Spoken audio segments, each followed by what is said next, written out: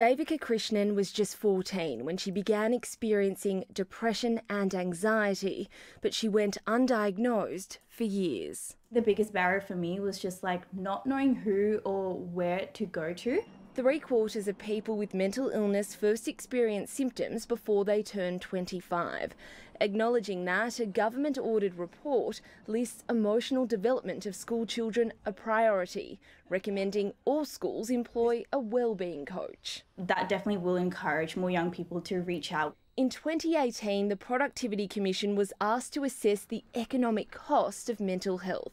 Its final report documents long standing problems in the sector, underinvestment in prevention, and difficulty accessing support, while finding the financial cost of mental health is up to $220 billion a year. These costs are borne by those people with poor mental health and the people who care for them. The report also recommends better follow up care after suicide attempts and greater support for workers with mental illness.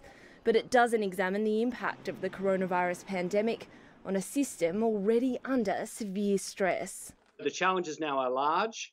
What we need to see is really the size and scope of the government response. Dozens of reports on mental health have been handed to government over the years, but those in the sector are hoping this one brings long lasting change because it goes beyond the health sector into workplaces and schools.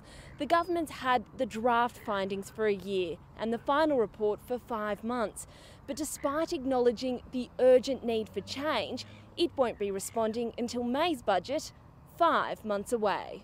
It's an epidemic needing urgent attention. When the government responds, the report estimates its changes could save up to $20 billion a year, and most importantly, many lives. Stephanie Dalzell, ABC News, Canberra.